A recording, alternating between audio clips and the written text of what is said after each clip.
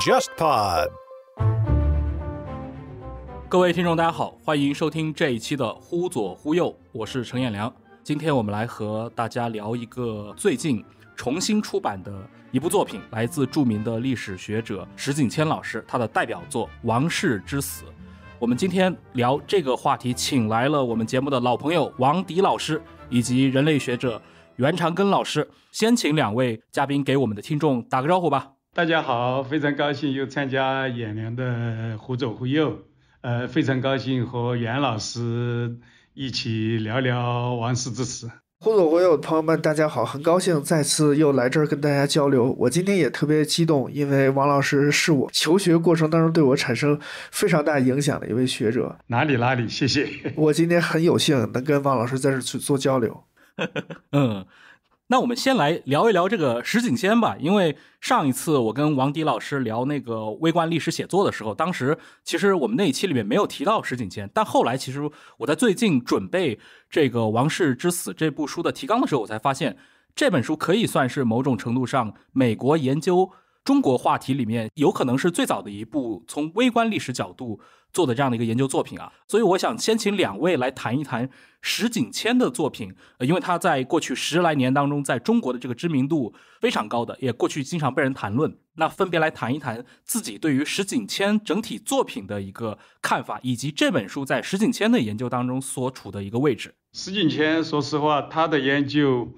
对我的影响可以说是非常大。其实我也给他见过几次面，后来我到澳大的时候，我还安排他到我们澳大来做讲座，结果以后来由于身体的原因啊没有来成。我在美国 Texas A&M 教书的时候，他也来过我们学校做过讲座，所以说见过他几次，但是他主要是他的作品对我的影响很大，我可以说是几乎读过他的。所有的著作，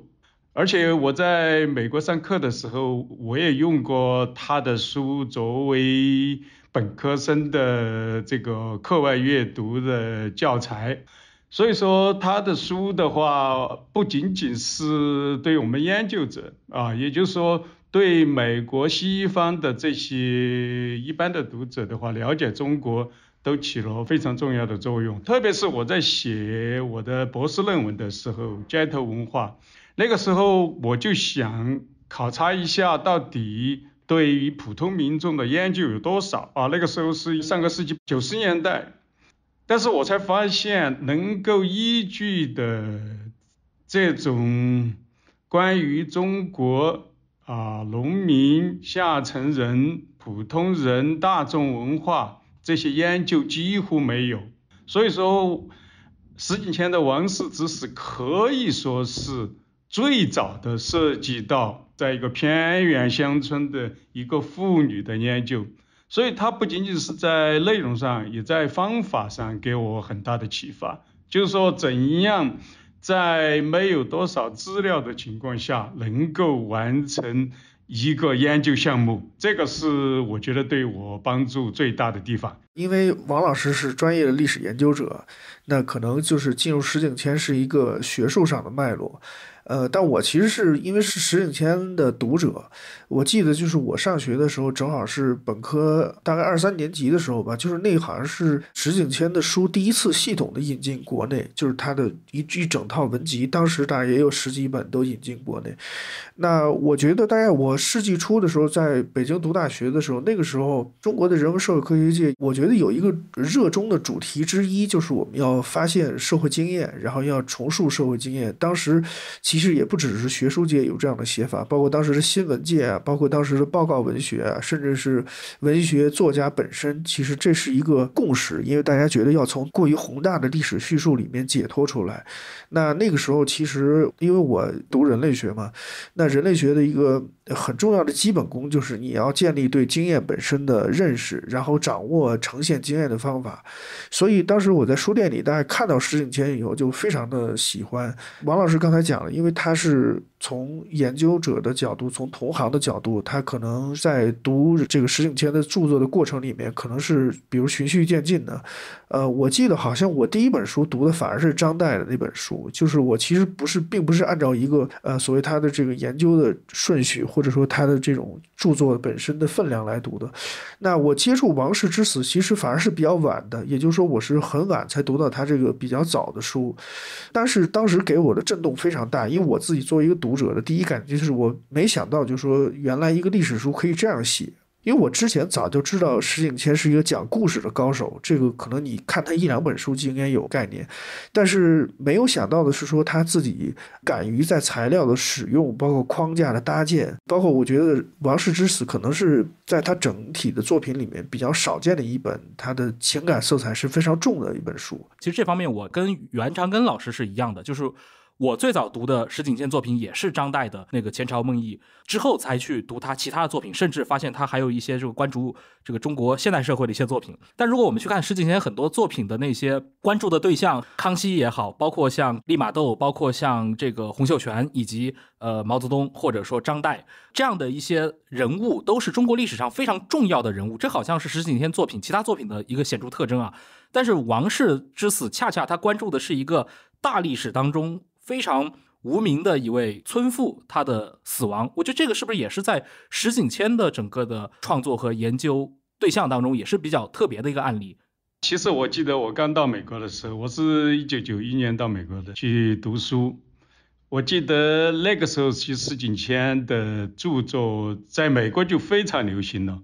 不管是本科生的课还是研究生的课，都要读他的书。为什么在美国教中国历史的教授喜欢把石景谦的书介绍给学生呢？因为老师也发现一个问题，就说你要让学生完成他们的阅读，首先这本书要好看，特别是在对于本科生的那种课程。那么施景谦的书虽然是王室之死和其他的，包括康熙啊，这个书是在研究对象上。确实有很大的差别，但是它一个共同的特点就是特别好看，特别有故事，特别容易读，而且没有很多深奥的理论分析框架。他的书甚至也不符合我们一般的学术写作的那种格式，先要来个导言，然后最后有有结论。啊，四年前的书完全没有，自始至终是一种历史的叙事，从故事开始，从故事结束，包括这个王室之死，大家看到这个案子一审完，处理一结束，这本书就结束了。所以他的这种写法，我记得我在读博士的时候，在修课的时候，老师都说啊。石景谦现在是大家，他可以按照他的喜欢的风格，但是作为学位论文，那一定不能按这种写法。后来我在写博士论文的时候，其实也是呵 呵意识到这一点。你要写博士论文，或者写其他的正式的论文，或者是学术专著啊，要拿来评职称等等等等，首先得符合一般的这个西方的这种学术专著的写法。但是呢，非常奇特的是，我们都知道这个黄仁宇，黄仁宇的书，其实他的万历十五年看得出来，其实也有点儿石景谦的风格。他在万历十五年讲述的那种故事、那种叙事手法，其实也是非常好的，但是一直在西方啊，特别是美国得不到承认。但是施景谦完全不一样。他的书一本一本的出版，一本一本的成为畅销书，包括他的那本教科书《Search for Modern China》，就是追寻现代中国那本书，其实是相当专的，但是在美国居然成了畅销书，而且是在《纽约时报》的畅销书榜上也列啊好长的时间。所以说，石景谦一直都得到美国史学界的承认。后来还担任过美国历史学会的主席。其实，在研究中国史的，担任过美国历史学会主席的啊不多，只有几位。他前面有 Junkin Fairbank，就是费正清，嗯，还有就是这个石景谦，后来有彭木兰。反正不多的，就这么三四位。也就是说，石景谦不仅仅是受到研究中国历史的历史学家的承认，而且得到美国历史学界的广泛的承认。也就是他这个写法，大家是认可的。那么我就在想，为什么会得到认可？其实我到美国的时候，其实我发现一个很奇特的现象。我们在上讨论课的时候，我们所阅读的书啊，其实在美国这个历史学界还是非常推崇那种能讲故事的、能做历史叙事的。所以说，我觉得石景谦的书能够得到承认，可以说是和他的这种写作方式非常有关。在我看来，他可能是在西方历史学家里边。能够把中国历史讲给西方人听的很少的那种历史学家，嗯，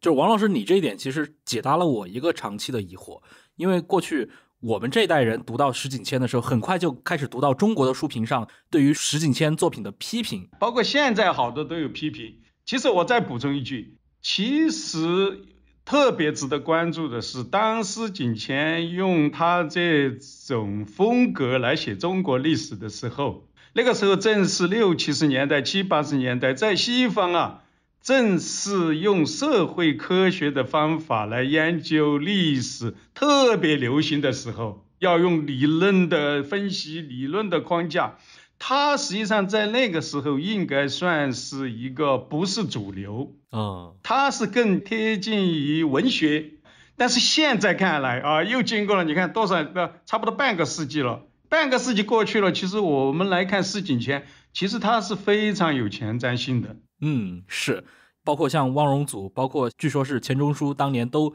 批评过石景谦的作品。很多人会认为石景谦的作品其实缺乏那些呃对于历史的一些分析或者说理论框架。王老师也介绍过了，那个石景谦当时应该是零四年到零五年，他曾经担任过这个美国历史学会的一个主席，而且他的一个影响力似乎也是在美国正经的这个历史学界又是备受承认的。所以刚刚我觉得王老师那段能够部分解答我这部分的长期的一个疑问。刚才我觉得王老师提醒的一点非常重要，就是因为刚才我们也谈到，就是对石景谦的批评的问题。我自己比如说用我稍微熟悉的人类学做一个类比，就是其实人类学大概也有一段时间是跟王老师讲的历史学非常像，就是他很强调，比如说人类学要对于哲学和社会科学理论的吸收，包括你怎么用当时最先进的理论去改造我们对于经验世界的这种呈现。但是我自己的一个阅读的感受是说，进入新世纪以后，尤其是到二零一零年代以后呢，就是西方学术界当中对于民族志的推崇，或者说对于人类学的作品推崇，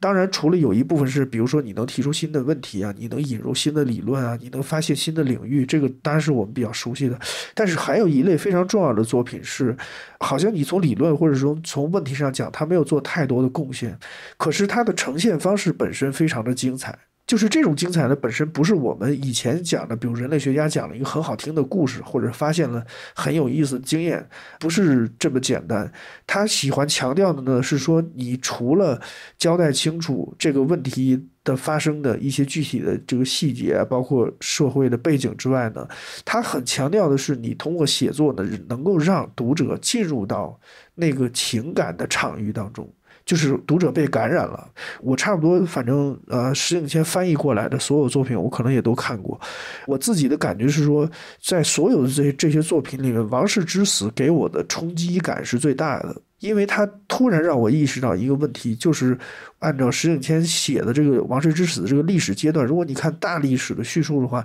那正好是中国一个算得上一个盛世的开始，因为。康熙年间嘛，这个好像整个文明史的叙述、大历史的叙述里面，觉得那是一个比较蒸蒸日上的，或者说向着光明、向着繁荣的角度去发展的。可是实际上，你在日常生活世界，你在真正的地方世界当中的感受，可能是非常绝望的。我觉得我在读他这本书的时候的最大的感觉就是，他唤醒了我很多的问题意识，比如你为什么要去进入到经验世界？比如你在经验世界当中，你找到的到底是一个非常重要的一个教育或者是启示，还是你提示读者注意说，OK，就是我们的历史也好，我们的生活也好，其实是有着非常丰富，或者说有些时候是很残酷的面相的。呃，所以我觉得就是在整个的我阅读石景谦的这个过程当中，我觉得王氏之子本身非常的特别。或许我自己其实有一个猜测，我不知道王老师呃怎么想这个问题。我觉得可能就是从学者的发展而言。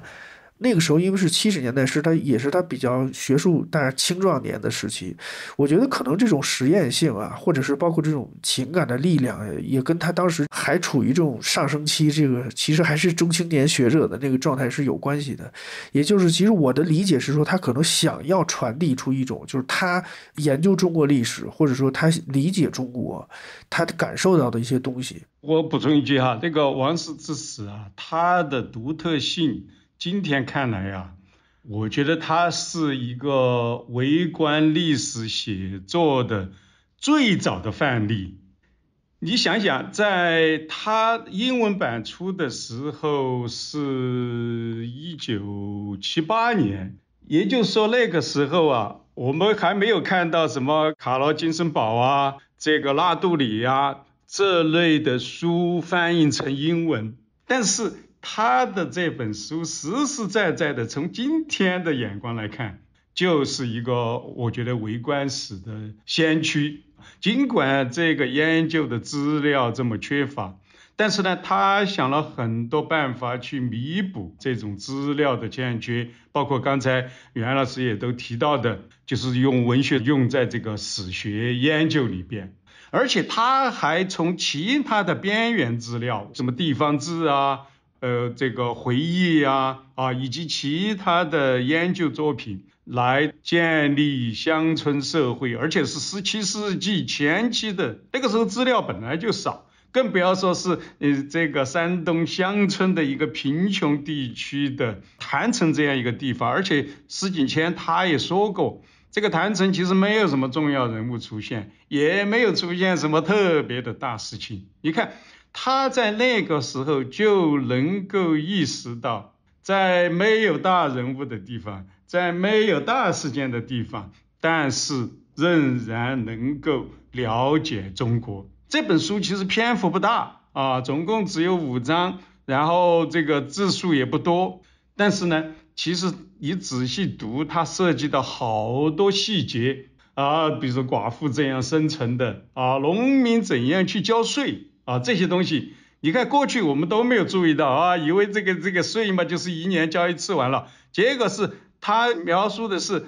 这个一年要交差不多九次税，除了这个阴历的十一月、十二月、一月这三个月是过年期间，而且是特别冷的时候不交税。其他的都是分开啊，就是一个月一个月个月的，因为农民没有办法一次把全部的税交足，那么就靠这个零星的这样交。还有这个发生的案件怎么处理啊？衙役在地方扮演什么角色？等等的等等的，好多细节，好多故事。但过去我们研究历史很少注意这个方面，所以。他这种注重细节，其实就是后来写微观史特别注重的地方。但是呢，还有一个我觉得值得特别的提到，就是说不要以为我们只是哦从他的书中间只看到故事，只看到描述。其实啊，你看他的书后面的他征引的资料，无论是这个中文的原始资料。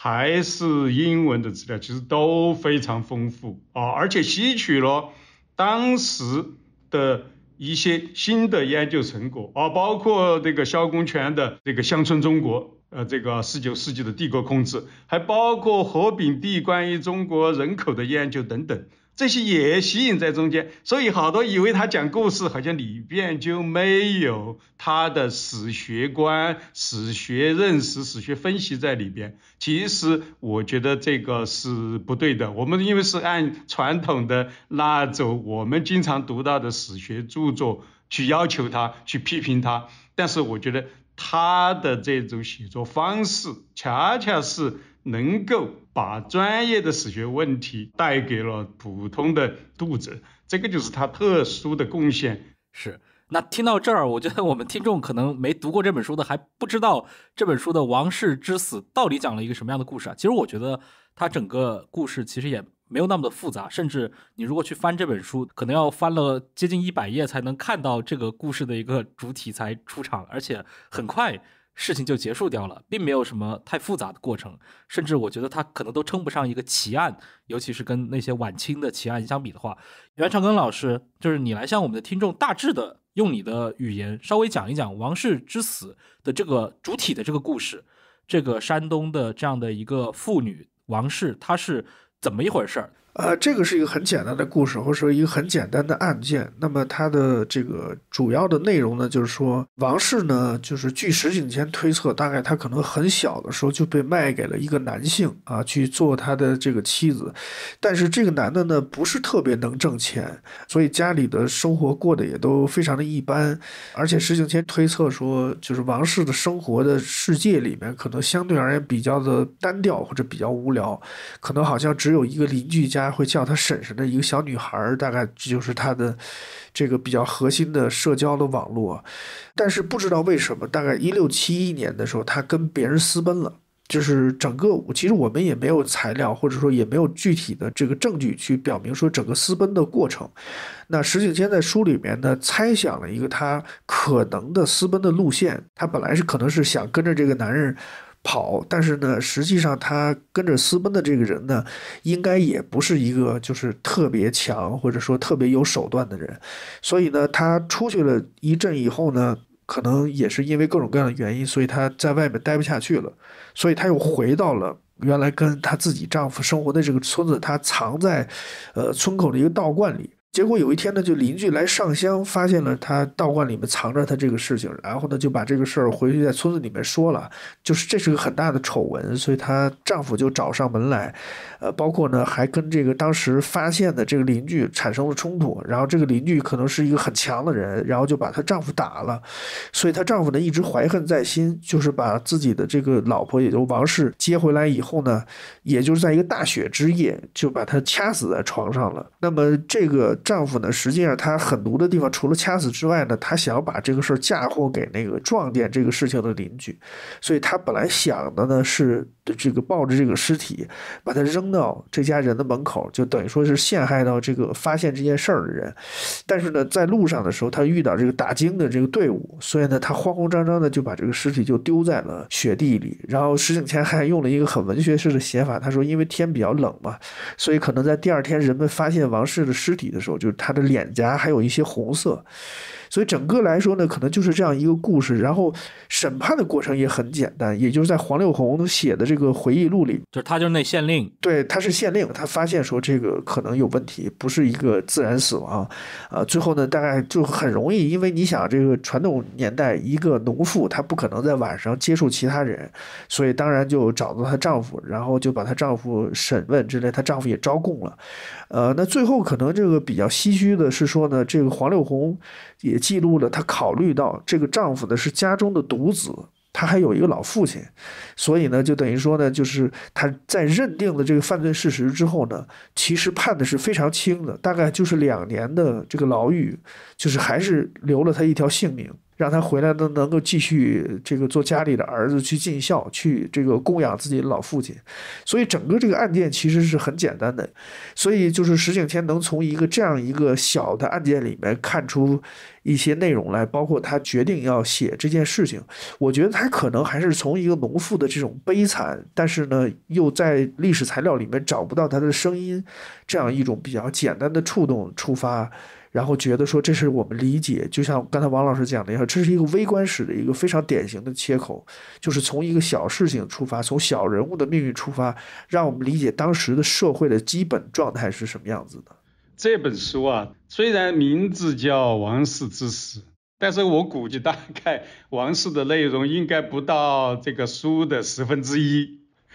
那么大家就会问他这样恰不恰当？他用王氏之死用作书名，但实际上王氏只占了这个书的非常小的一个部分。那我们要问这些铺垫需不需要？这本书看起来是很好读，看起来主要还是以历史的叙述，在谈成的各个历史人物，那穿插了蒲松龄的故事。其实那个蒲松龄。他是住在那个淄川，离那个郯城也不远。嗯，所以其实基本上每一章都可以看得到蒲松龄的描述，而且对蒲松龄的生长的那个时代，还有冯可生他的经历，其实都有机的穿插在一起。你看他第一章在描写这个地震的时候，这种文学性的描述，这个树木在摇摆啊，房屋在坍塌，地下水涌出来了。你看，像我们过去写史书的时候，不会描写这么详细的啊。那么。下一章呢，又开始描写土地啊、税收啊这些事情。然后第三章呢，描写妇女寡妇，特别是你看他引用的那个蒲松龄那个小说啊，关于细柳的。怎样抚养子女？怎样在那个农村社会里边生存啊？怎样让自己的儿子好好的读书？如果不好好的读书的话，他会采取什么手段？你看这些故事，其实都让我们对那个王氏当时在那个社会中间所面临的问题的生存挣扎。贫穷等等，还有地方的暴力啊。第四章基本上就在讨论地方出现的各种暴力啊、争斗啊等等。所以说，这些都是为最后那一章铺垫，为我们认识王氏为什么会死。表面上看来是一个个人的经历，实际上他通过这个铺垫的话，让我们其实从这本书中间理解到，其实王氏后面。还有千千万万个啊，虽然他们所遭遇的这种生活的这种困难啊，可能各有不同，但实际上他们的命运，王室其实代表了后面非常多的千千万万个这样在农村里边啊，由于贫穷造成了他们不可摆脱的这种命运，所以这种铺垫是非常有必要的。嗯。就我听起来，就阅读这本书的过程啊，不光是你了解王室所处的这样的一个案件本身，它可能占的这个篇幅反而是一个相对比较小的。但是你阅读这本书，更多更直接的是，你可能能真的有一个方式能够去了解十七世纪下半叶这个山东地方上的一个整个的一个生态。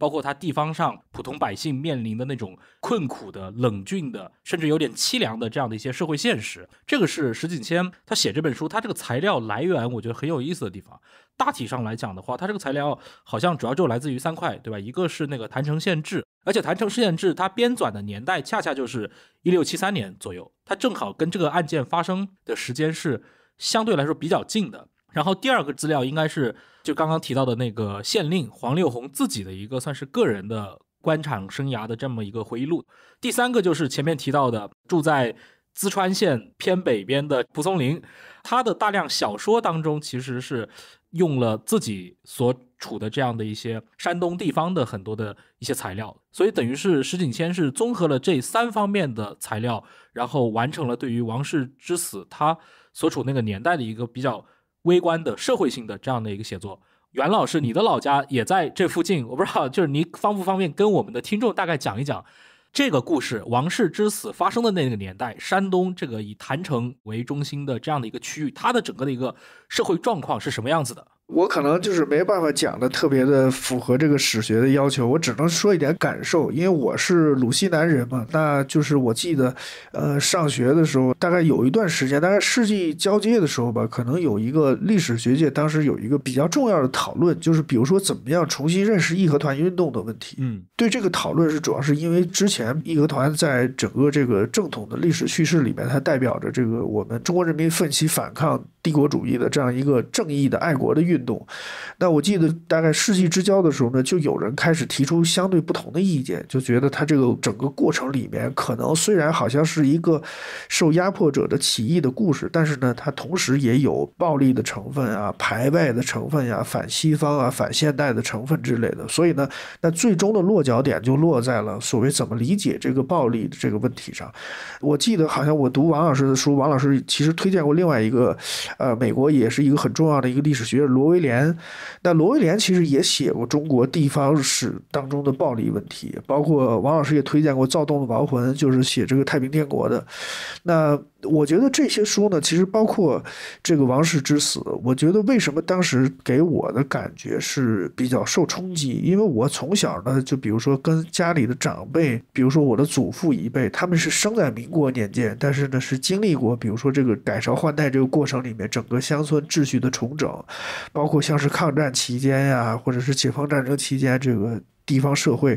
经历的一些事情，就他们会跟我讲一些相对而言可能是跟比如说我在历史书上读到东西不一样的部分，比如说他们讲这个村庄的这种矛盾的这种尖锐性啊，对吧？包括说这个可能有些案件的这种残酷程度、复杂程度，就是所以我觉得。就大概王氏之死，其实刚才王老师讲了一点非常重要，就是他前面的这个漫长的铺垫，实际是非常之有必要的。嗯，否则你就会只会去关注这个事件本身，它是不是个奇案。但实际上，我觉得他其实想要做的就是展现王氏这个人本身真的这种所谓悲苦的命运。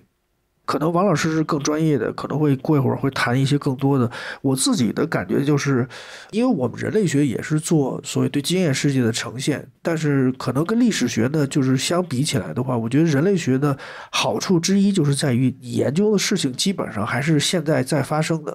就是你的材料是你只要到田野当中去工作，然后去到那个社区当中去工作，你是可以实时的去发现很多经验的细节的。但是做微观史有一个很大。大的难处，尤其像中国的历史的这种叙述当中，实际上我们对社会史、对社会生活材料的记录是非常匮乏的，呃，有很多的空白。所以，即使是你有这个历史的问题的意识，你也很难通过书写去把它再现。通过整个这个所谓规范的史料的运转本的再现，所以其实我觉得石景天其实是做了一个平衡和考量的。刚才这个王老师也讲过，就是你看他的整个的参考书目里面，其实他吸收了大量的当时美国的中国史研究学者的成果。但是他比如说跟我们一般的学术写作相比的话，他并没有把这些东西当成是自己的，比如说核心的引用文献，或者说是啊，OK，这我就是受他的启示。但为什么他还要看？按照我一个读者的理解呢，就是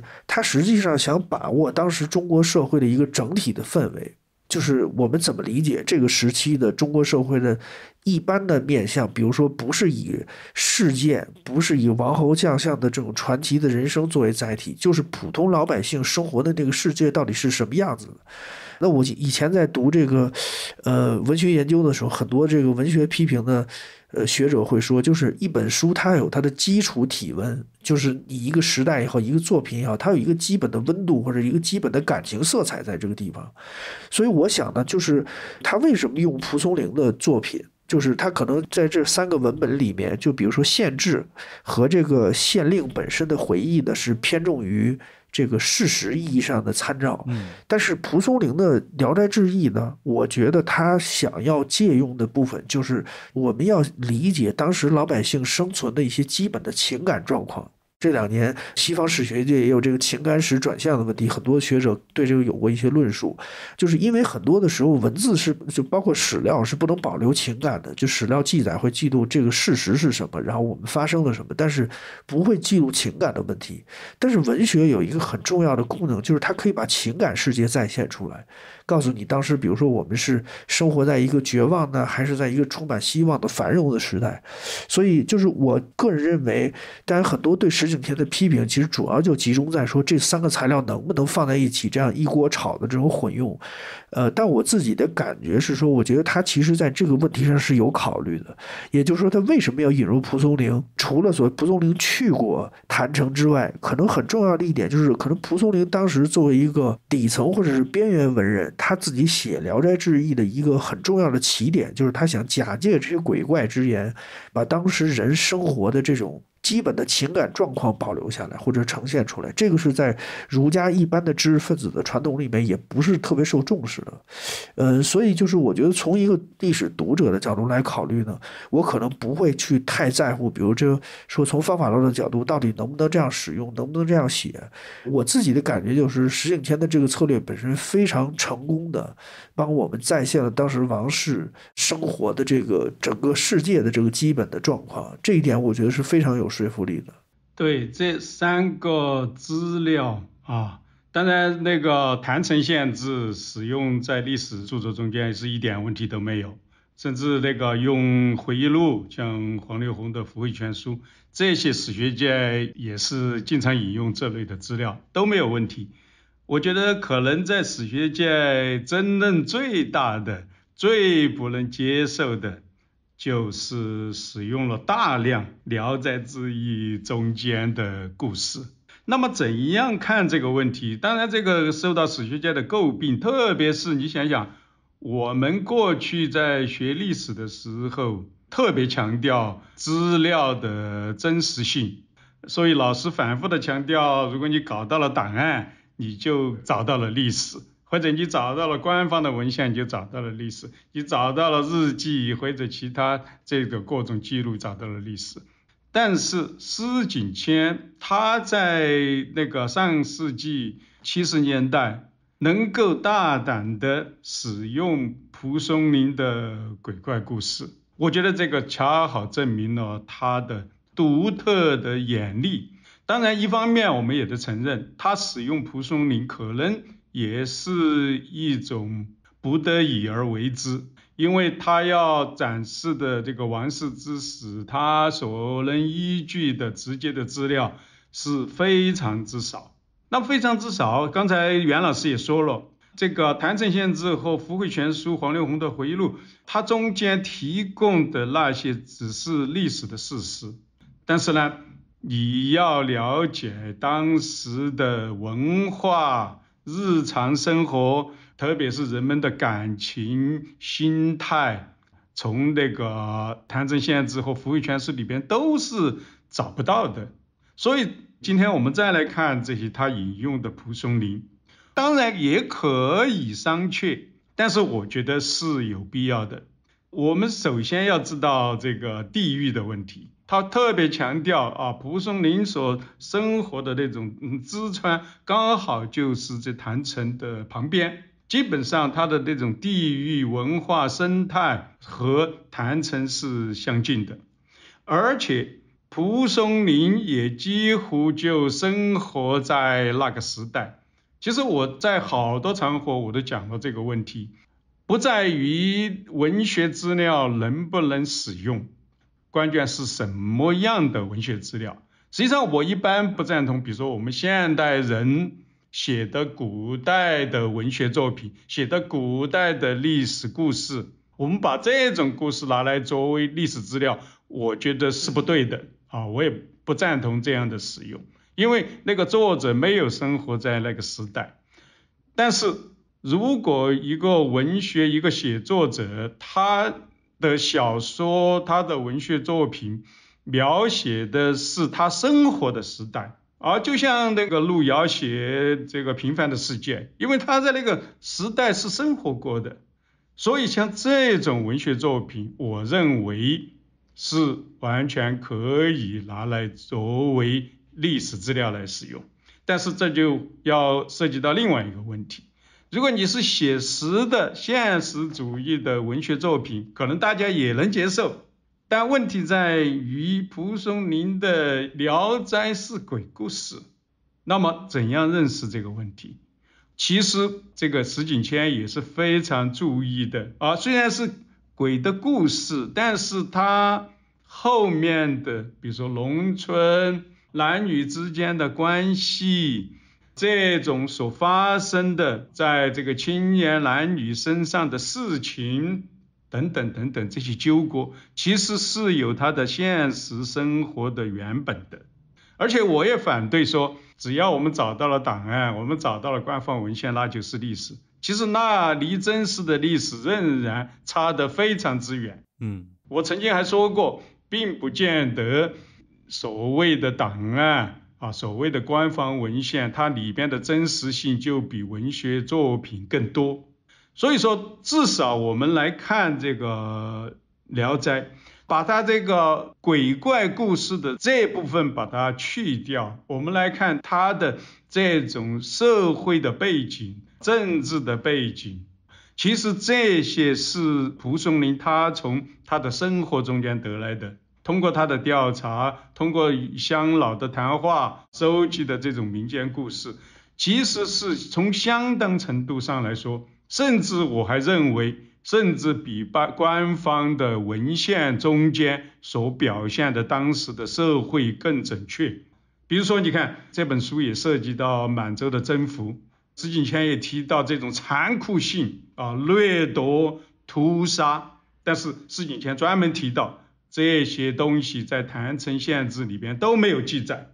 因为这些限制啊，或者是其他官方文献，他要回避很多事情，而官方也不允许他这样描写，所以在这种情况下，我觉得像《聊斋》这样的文学作品，恰好起到了不可替代的作用，所以这个恰好是他高明的地方。这个《聊斋》的使用，可以说是在相当程度上的说。帮他建构了后面大的社会和文化的背景啊，人们日常生活的背景。没有这个《聊斋》，他这本书基本上，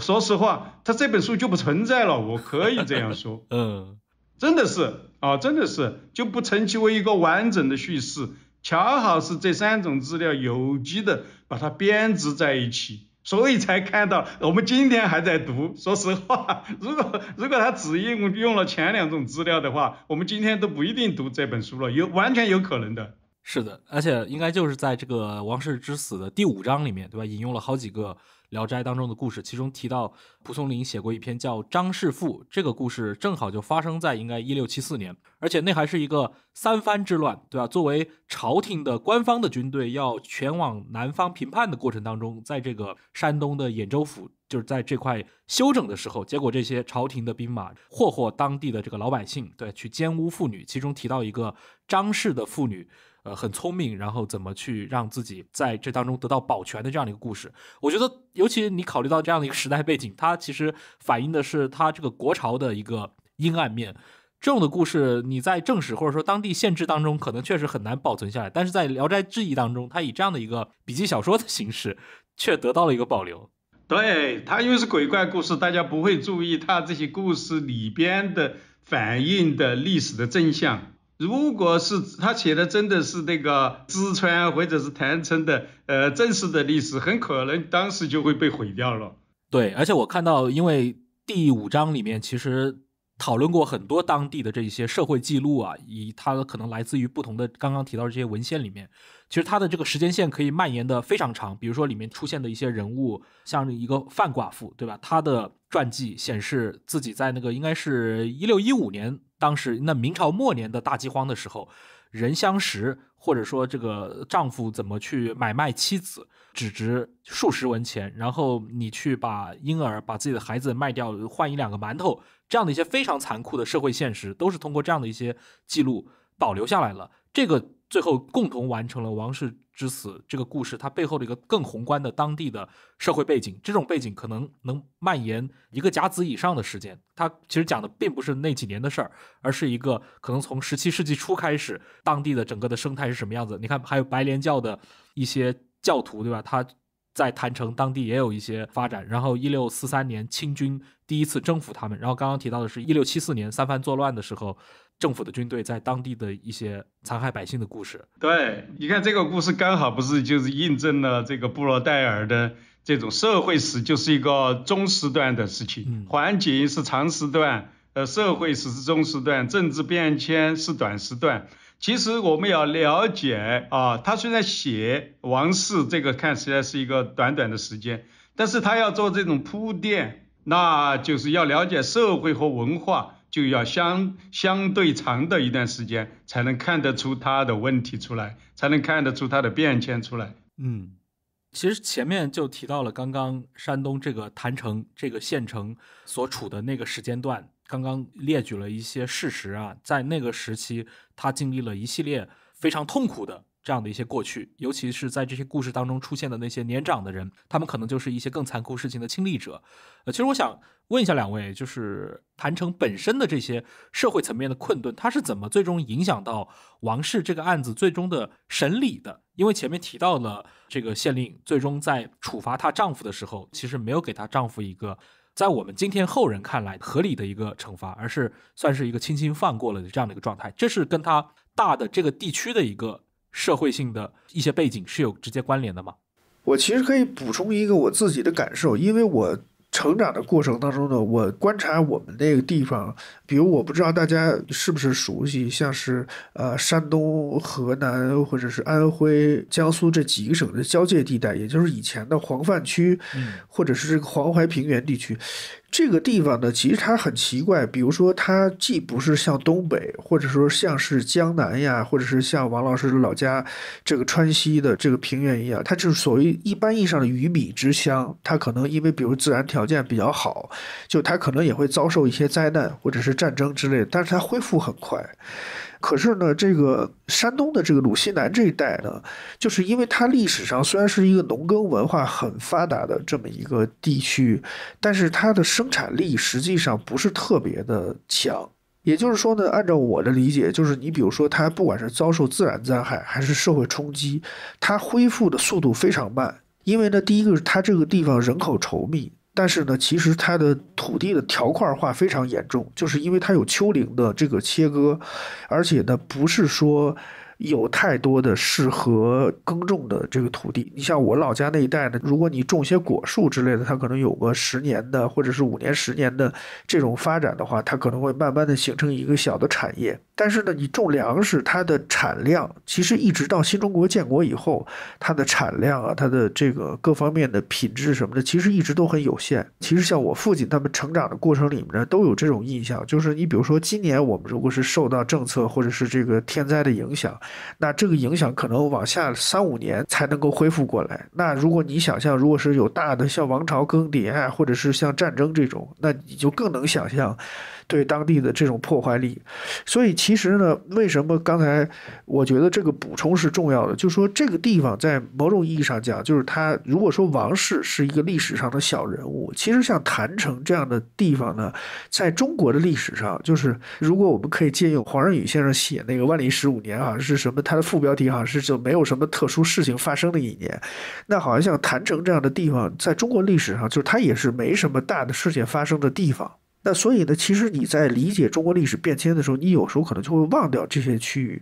所以它其实虽然是帝国的，好像你不能说山东是个腹地或者是边缘，呃，它肯定是这个帝国的一个比较核心的地带，而且是一个所谓像儒家文化呀这些东西。就是最发达的一些地方，但是呢实际上从它的社会发展水平了而言，你可以说它是不理想的。呃，好像这几年像马俊亚老师他们写这个被牺牲的局部，对对对，其实也是这个区域附近这个四省交界的这个地带。所以呢，其实你看，包括这个县令的这个判决也是，我觉得呢，他从某种意义上讲，就是他理解这个社会本身的这个脆弱性，就是你确实是你要杀掉这个儿子，好像。在他们看来，就是这个老人就完蛋了，因为这个社会他没有一个相应的，比如说去弥补这个家庭内部的劳动力啊，或者是这个社会保障的这样一个可能性。包括其实石景谦在书里面其实写了很。重要的一个问题就是，当时的基层社会，像是农村，基本上已经失去了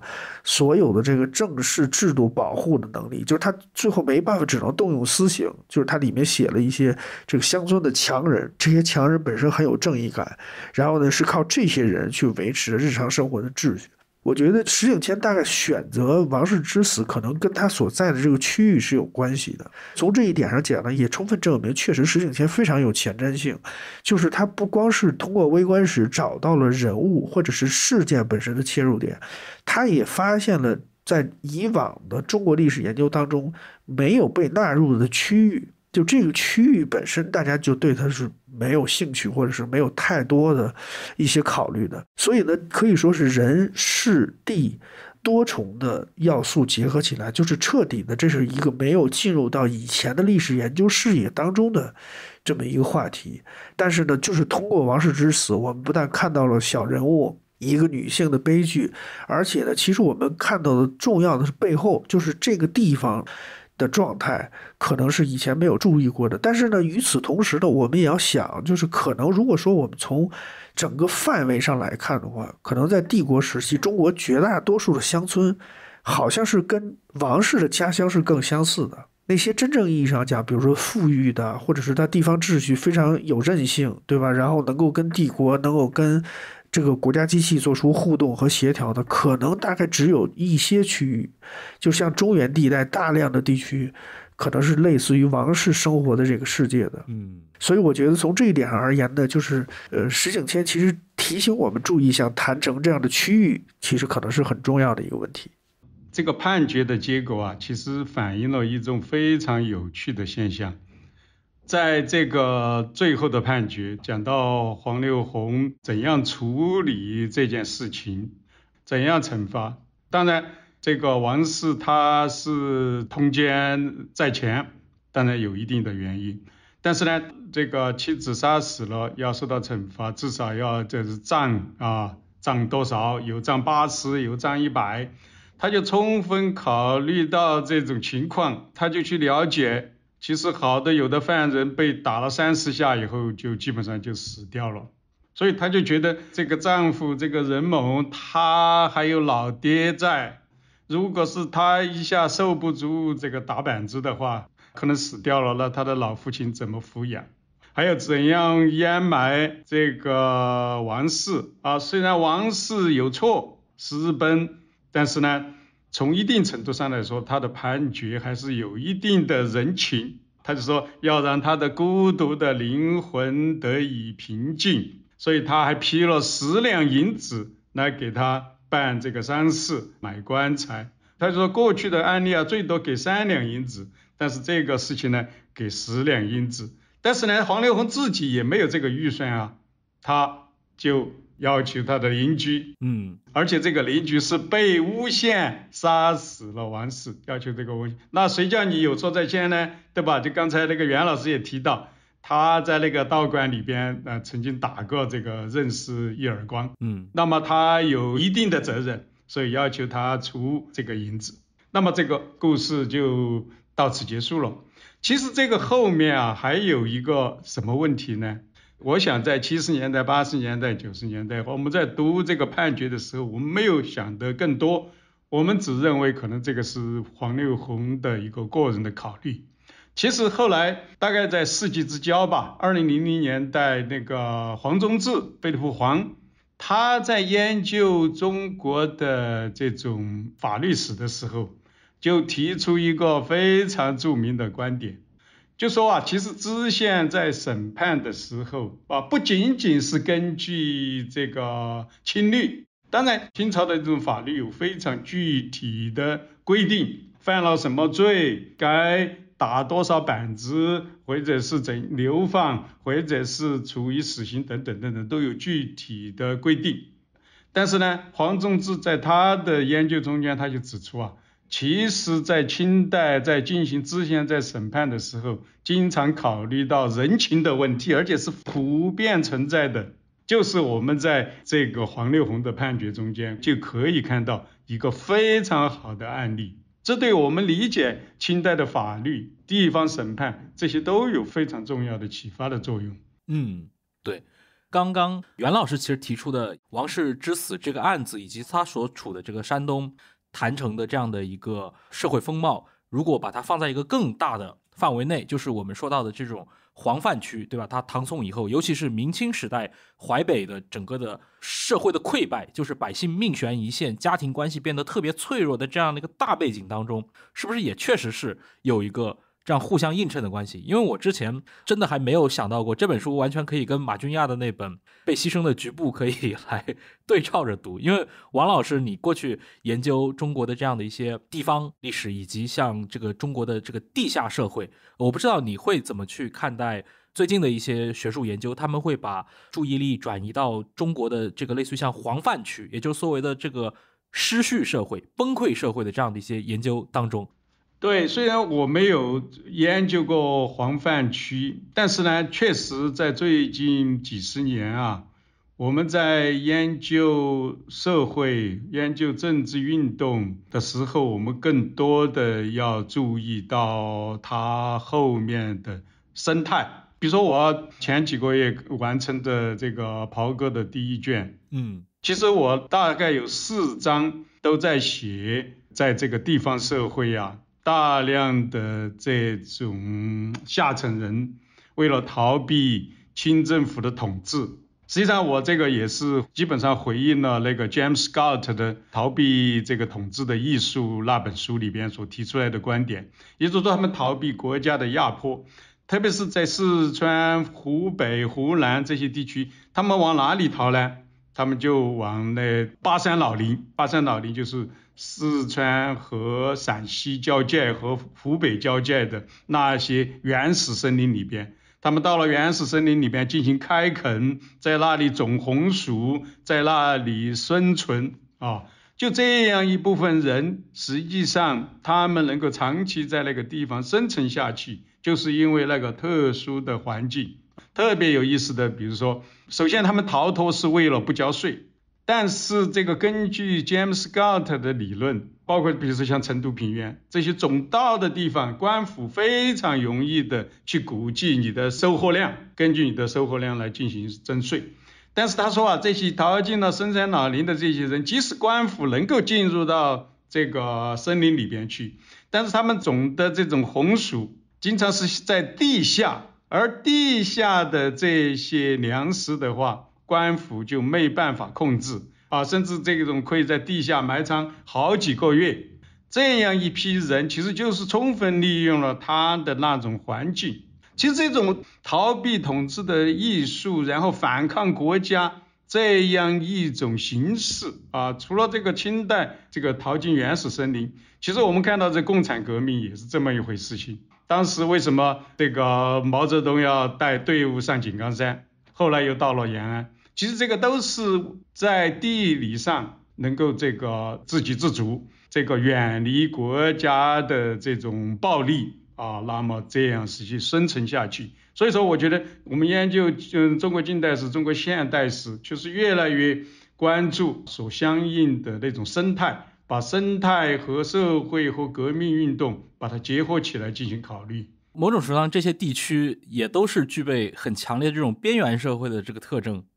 对边缘人群，所以说研究边缘人群现在也是最近几十年比较受到关注的。嗯，哎，袁老师，你你有什么想法吗？关于刚刚？对，我觉得，因为呃，我看王迪老师写袍哥呀，或者是写这个边缘社会的一些书啊，就是我其实有的时候经常在想一个事情，你比如说中国的社会学和人类学界呢，过去这十几年也在争论一个问题，就是我们。中国在历史上到底有没有一个可以对应为西方从？十五世纪以来的这个一个叫做所谓叫做社会的东西，那有很多的学者呢是认为讲说哈中国社会的基本的状况哈跟西方不太一样，所以他们可能有一些，就比如说家族啊，或者是像地主对地方的控制之类的，他们会把这个当做是一个题目。我确实觉得非常有意思的一点是说，我可以举一个小例子，我以前有一个同事，就我们两个人老家离得非常近，然后他跟我讲了一个故事，就是他所在的那个县呢，是一个经济上发展非常快的县，大概就全国百强县的那种。但是随着经济发展，会有一些问题，这个农村的基础的社会服务基本上已经没有人管了。就是虽然说有这个村集体啊，有这个各种各样的这个组织，但已经没人管了。比如说一个很严重的问题，就是村子里面垃圾没有人问了。这个就是不管用什用尽什么样的方法，就是他们也跟村委会谈过，然后村委会也跟这个村民啊宣传，就是大家不要乱扔垃圾啊，自己的村子要自己爱护之类的，但是没有任何实质性的效果。可是呢，他给我讲一个事儿特别有意思，就是在他旁边的一个村情况就不是这样，为什么呢？因为那个村子里面实际上是有一个黑恶势力。这个人呢是这个村子的本地的人，所以他就很看不上这些在村子里面扔垃圾啊，或者是因为农村有一个问题，说就有些这个城市里的人，他这个城市的社区，一些城中村之之类，他有时候会偷着把垃圾往农村扔之类的，然后所以他就。自己动员起来，他这些小弟们就说：“我们就是要解决这个问题。首先，他在村子里面就说：‘我现在决定了啊，大家不能再扔垃圾。’然后我们就划出几个地方来，只能去那儿扔。你敢再乱扔，我就打你。然后呢，他自己呢就是组织了一个力量，然后呢就守在村口，那外面的人也不能来扔垃圾。就这个村子里垃圾这个事情是被这样一个人给解决的，所以这就是一个。”其实很有意思的现象，就是中国史里面争论了很多年，就是中国帝国时期到底皇权能不能下县呀，能不能进村啊这样的问题。但其实有些时候，可能我们对秩序的理解还是太简单了。嗯，觉得秩序基本上就是分为一个国家的法律的和政治秩序，和这个所谓的乡绅的这种儒家文化的日常生活的秩序。但是你可能忽视了很多事情，就比如说在整个社会当中，其实有不同的群体，有这个主流的人群，也有边远。的人群，有些地方是，比如说像江南呀，或者是甚至是成都。这样一些地方，就是它可能是理智教化和整个国家行政力量比较健全的地区，也有很多就是像坛城这种地方，就整个的国家力量非常弱，然后呢也没有办法实质性的干预日常生活。那这个时候，它就有很多的其他的这种补充性的力量，而且这种补充性的力量未必是符合我们以前想象的，就好比说，觉得好像儒家思想是一个自上而下都很统一的作为一个处理原则，这个不一定。只能说是日常生活的秩序非常复杂，就是有些时候一些意志性的力量，或者说你看上去就觉得它是一个不入流的东西，但是它可以促成很多的这个事情的发生。刚才袁老师提到的这个正统对这个乡村社会到底有多大的影响？其实，在西方学术界也存在着争论。有一部分学者认为啊，这个中国的正统的儒家的，在中国已经形成了一个统一的文化，就是儒家文化。这种儒家文化能够贯穿从城市贯穿到乡村，哪怕乡村的这些所谓的这个走街串巷的这些戏班子，实际上他们也接受了这种儒家正统。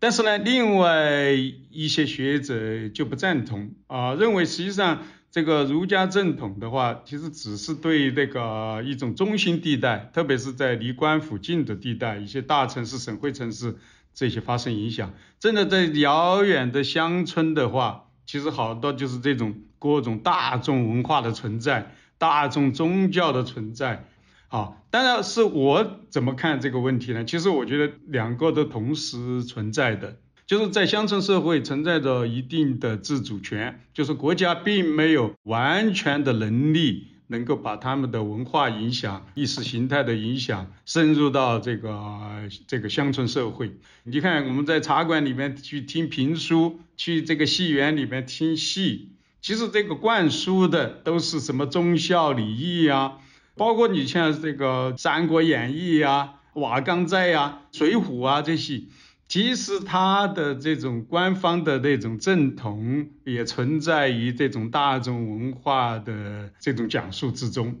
啊，包括这些评书，其实都是在对民众进行某种形式的宣传。其实从这个王室之史，我们也可以看到，虽然我们看不到皇帝的角色，但是其实那个时候，你看康熙颁发十六条圣谕，这些圣谕。对这个乡村社会有很大的影响，在这个集市的时候就要叫人去讲，但是呢，农村社会里面其实相当的自主性，所以才有了百年教，到了这个十九世纪末才有了义和拳等等的，其实这些都是乡村社会中间呃拒绝接受这种儒家正统的一些很具体的例子。所以说，其实就是两种现象都存在。我们在研究历史的时候，实际上要看到这两方面，并不是就并不要去回避国家的这种影响力，但是呢，也不宜夸大国家对地方社会的影响。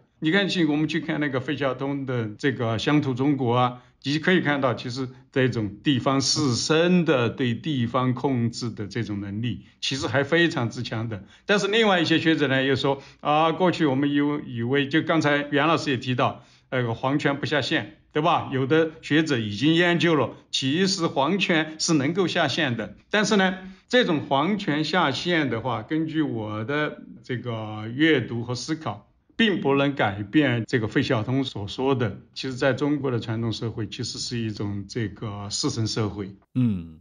呃，最后我想来聊一个，就是前面两位老师都提到过，石景谦在这本书《王室之死》这个作品当中，其实倾注了很多个人的非常感性化的描述，基本就等于是在写小说，对吧？是在创作。说实话，里面有一部分内容我看了非常感动，其实就是第五章里面写到王氏被她的那个丈夫任某掐死之前做的一个梦，用非常文学化的描述、非常感性的手法去描述王氏在那个梦境当中看到的很多的这些事情，文字特别优美啊！如果不是这段描述真的太长了，我真的还挺想在这个节目里面给听众读一遍。我不知道你们会怎么看待这段描述，因为我当时在看这本书的时候，这段给我强烈的震撼。你能够感受到一个美国的历史学者对一个十七世纪中国山东郯城被杀死的一个妇女，他有一种非常深刻的同情在里面，甚至加了很多自己的想象。你们会怎么去看待这样的一段描写？以及石景谦他一定也意识得到，这已经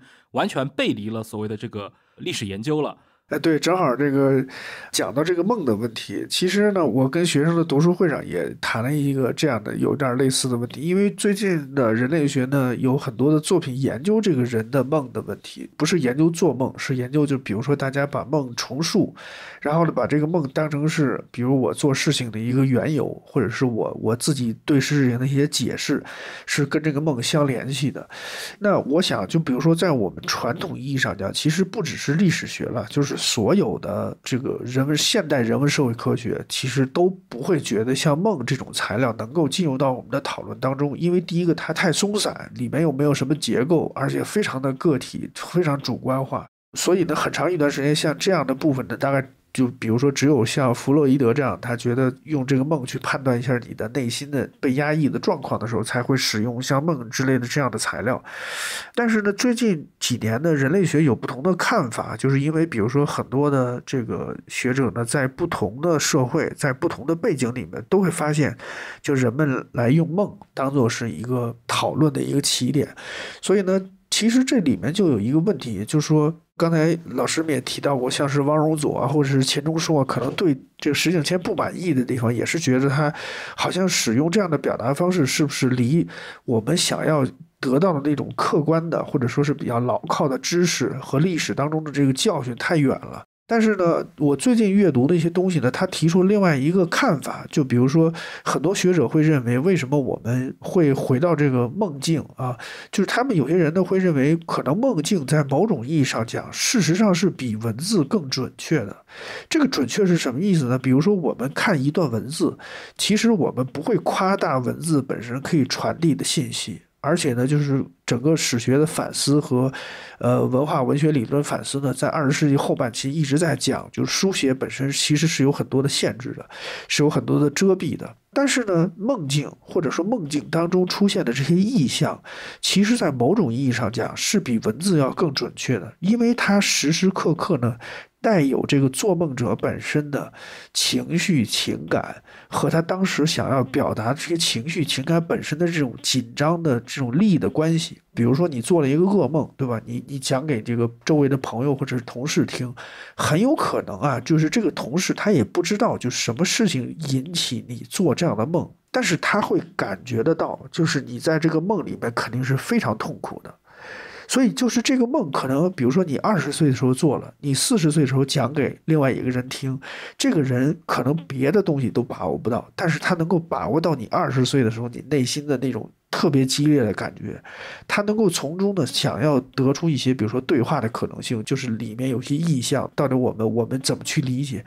所以呢，从另外一个角度而言呢，就是梦不是一个病症，就比如说我们拿来分析一下自己有什么问题，好像梦其实是我们另外一种表述的方式，就是你其实想让对方知道的，不是说这个事情具体的细节，或者是它准确意义上的信息意味着什么，而是你非常想让他理解，就是。我被困在一个情感状态里面，我被困在一种非常激烈的想法当中。就是我，与其是说我想要让你理解我这个梦里面具体该怎么解，不如说让你理解，其实当时我是那样一个状态。所以呢，很多的这个当代的精神分析和当代的哲学家呢，会认为梦以及梦中的意象，在某种意义上讲，其实是可以带给我们更大的想象力和阐释的可能性。而且我这次读的时候特别注意，就石景谦其实这个梦的很多的细节是来自《聊斋志异》，就等于说他其实是这个工作，其实在我想想象起来就非常非常困难，因为他得看完所有的故事以后，然后他还要重新的剪辑成为一个在王氏之死之前的时候，都汇集到这个人的自己的身上，所以。我自己的感觉是说，就是他其实，在做这方面的考虑的时候，其实恰恰跟我们一般的批评上讲，觉得他太随意，或者是太过于轻易的就使用这样的材料的印象相反。其实他对于《聊斋志异》的使用，对于这个梦本身的编织和重现，是下了大量的功夫的。很多地方我注意到，就是可能只是从一个故事里面选了一个意象，或者是选了一个动作，所以他其实写的这个梦啊，就刚才大家谈的这个梦，其实是一个很难的事情。所以呢，我觉得就是从各个方面的角度讲，我当时跟这个一朋友们分享的时候，我也说这个梦是非常精彩的这个描写，而且这个里面确实是可以让我们感觉得到，就是王室之死的命运的这个悲剧性，不只是他最后没有了这条性命，而而且更重要的是说，就是他自己生活的这个世界，他没有任何的东西能够对他构成保护，他没有任何一个领域是属于他的是安全的，所以最。后他的死其实是死在自己的床上，是死在跟自己的枕边人的这样一个相处的空间当中。鲁迅讲过，所谓历史是吃人的，那他其实吃人的具体的表现就是，比如说在女性这样的边缘群体的身上，就是你是无处可逃。无处可躲，就你本来已经很勇敢的，或者说是非常冲动的离开了这个家，但是真正的问题就是说，你其实在外面是活不下去的。你哪怕是像乞讨或者什么样之类这种事情，可能你都做不了。所以你最后还是你明明知道自己在，如果是再回到丈夫的身边，很有可能是危险的，但是你其实是无路可走的。呃，所以我觉得这个梦本身其实看上去虽然是非常文学性的，但是石景天其实想通过一个好像文学性的方式呈现给我们的，就是王室本身生活在一种历史的强度非常大的暴力当中，而且他最后的结果就是这是一个无处可逃的结构。所以我自己的想法是说，我觉得是他想要传递给我们的就是。我们理解中国历史，除了对编年、对于传记的注意之外，要明白就是一般人生活的那个世界的温度和底色到底是什么样的。嗯，关于这个梦啊，可能就是这本书争议最大的地方。刚才演良也说了，就像写文学一样。啊，刚才袁老师也说了，实际上这些梦中间的场景是从。蒲松龄的这个《聊斋》里选取的各种片段，把它拼接在一起，可能很多人都没办法接受，特别是对于历史学家。但是我是接受的。我接受的原因，其实我越来越我在不断的强调，其实我们写史学就是一种文学。这个海登怀特他在那个《Meta History》原始学里边就提到过。我们的其实所有的历史著作都有潜在的结构啊，不管是喜剧、悲剧啊、浪漫剧、讽刺剧，我们任何一种史学著作，其实都可以，它的潜在结构都是从这四种戏剧中间呈现出来。所以说，在海登怀特看来，这个文学和历史之间是没有不可逾越的鸿沟。我觉得石景谦他在这里用。这个王氏就说，最后死之前把衣服脱了，上这个炕，然后睡去，然后就进入到他的梦境。实际上，一方面是丰富了这本书的这种色彩、这种可读性；另外一方面，其实更多的就像这个袁老师所说的一种悲剧的色彩。你看他在梦中间啊，是多么的美妙，他的那个魂在这个梦境中间是自由自在的。但是最让人悲伤的就是她在个梦中中间，然后她的丈夫把她掐死了，这种悲剧性的结局，我觉得强化了就是刚才袁老师说的那种情感。我们过去写历史存在最大的问题，一个就是没有人，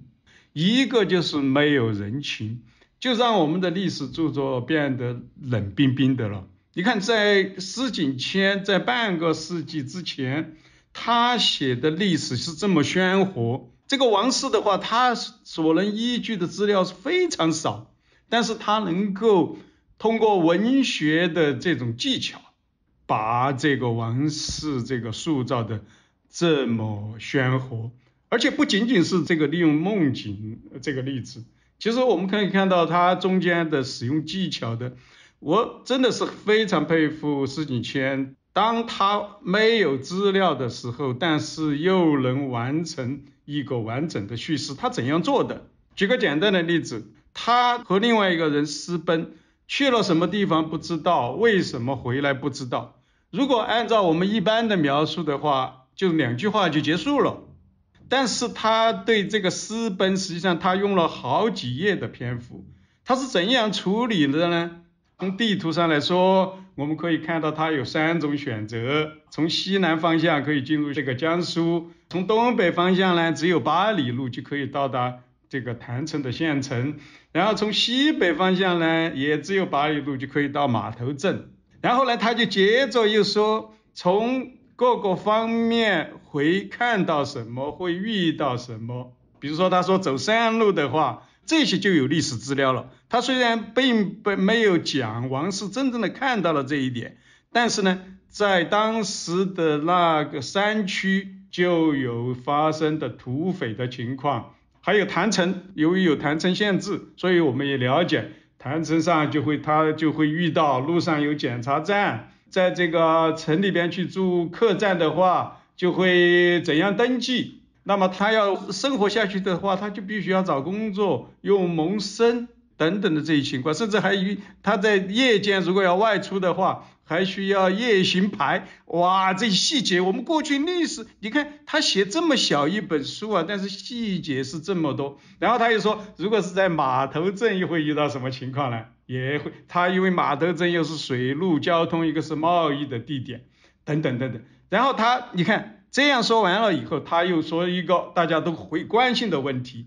对于一个私奔的妇女，她会面临怎样的惩罚？然后他又顺带又把亲律里面讲的通奸会怎么惩罚，他的这个情夫会受到什么怎样的惩罚，被打板子会打多少等等。如果他生下了孩子，生下了孩子要怎么处理？谁来抚养他？这个生生的父亲啊，会受到什么的惩罚？如果是这个丈夫把这个妻子卖给其他人，会受到什么情况？就是把清代的法律又捋了一遍。然后这个还没有完，这个十几天又在说路上大概他会遇到什么人？会遇到三教九流，会遇到算命的人，会遇到变戏法的人。在客栈里呢，怎样和小贩会拥挤在一起？但这些啊，都不是王氏亲身的经历。但是呢，他是根据其他的资料描述的是王室很可能遇到的情况。但是最后，这个施景谦描述了所有的这些一切的一切呢，